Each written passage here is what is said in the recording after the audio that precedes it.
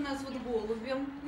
Прямо над квартирой Дианы Соколовой дырявая крыша. Дожди давно размыли старый шифер. Столетний дом, по словам его жильцов, последний раз ремонтировали еще до Великой Отечественной войны. Вот этот потолок я делаю два раза в год.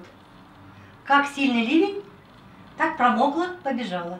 Здание в историческом центре Калининграда и сегодня выглядит почти так же, как сто лет назад. Зато внутри гнилые коммуникации, растрескавшаяся кирпичная кладка и подвал, который регулярно затапливают стоки из прохудившейся канализации. Последнее обследование дома было 5 октября 1981 года. И на эту дату износ дома э, составлял 59%. То есть, соответственно, спустя более 30 лет он гораздо в худшем состоянии.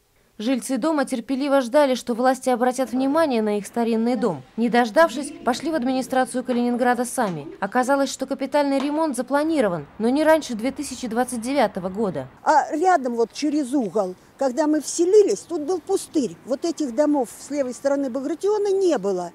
Их построили где-то в 75 году. Их уже ремонтируют. Как же составляли план ремонта?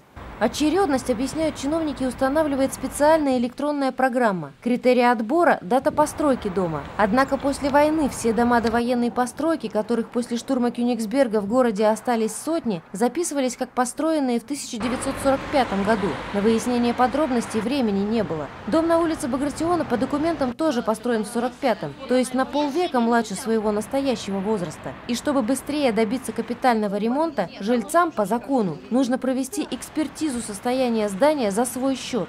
Собственники жилья за счет своих средств должны нанять специализированную организацию, провести обследование дома на предмет его технического состояния и дальнейшей эксплуатации, после чего, получив данное заключение, они обращаются в органы местного самоуправления для внесения изменений в региональную программу.